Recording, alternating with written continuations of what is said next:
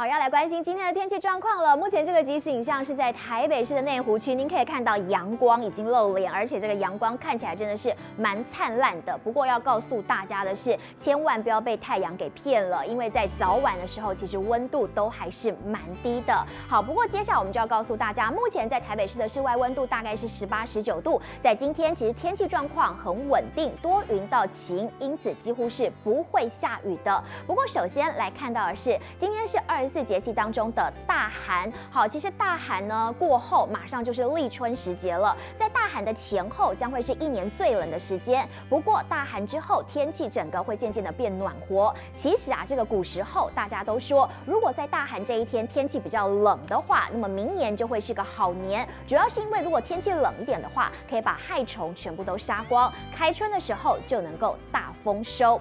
但是呢，我们要告诉大家，在这一天，其实吃一些暖身的食物是比较适合的，像是我们帮你整理出来，牛肉、羊肉、鳝鱼、核桃，还有韭菜，都是蛮不错的东西。好，另外呢，来看到的是卫星云图的部分，在今天清晨时分，依旧是受到辐射冷却效应的关系，各地气温还是偏低的。今天本岛清晨平地最低温度出现在新竹的峨眉，只有八点六度，而苗栗的造桥也只有八点八度。好不。不过整体说起来呢，今天整个西半部的低温普遍是落在十二到十四度，竹苗局部比较空旷的地方还是有可能出现十度以下的低温。好，至于东半部的低温呢，则是来到了十四到十六度之间。好，但是我们要告诉大家的是，随着白天整个阳光慢慢露脸之后，气温会上升。整体说起来，这个会比昨天来的更为舒适，还有温暖。各地的高温大约都是在二十二度以上，西半部局部地区更有机会高温来到二十六、二十七度。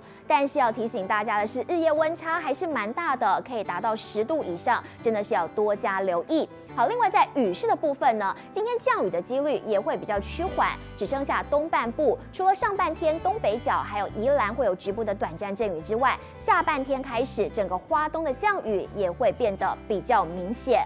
但是我们要告诉大家，早晚还是很冷。气象局在今天依旧针对了这几个县市发布的是低温特报，亮起了黄色灯号。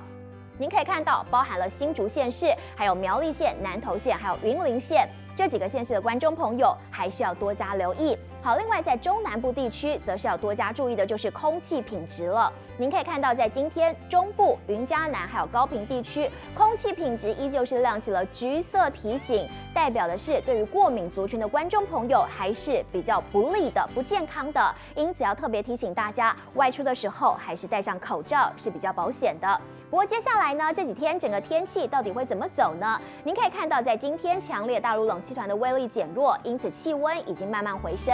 但是要告诉大家的是，明后天开始，南方云系要北移，到时候东半部还有西半部都会出现局部的短暂阵雨。好，紧接着来看到的是周休假日的部分，从周六一直到了下周一，东北季风增强，全台各地的温度都会稍微下降，同时也会出现局部的短暂雨势。要一直到了下周二的时候，东北季风的威力稍微减弱，气温才会慢慢回升。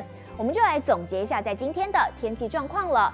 受到了辐射冷却效应的影响，因此在清晨时分，这个温度还是蛮低的。从白天开始，气温会慢慢的上升，但是要提醒大家的是，日夜温差很大，可得要多加留意。另外，在今天下雨的部分，东半部会出现局部的短暂阵雨。至于中南部的观众朋友，要特别注意的就是空气品质的部分了。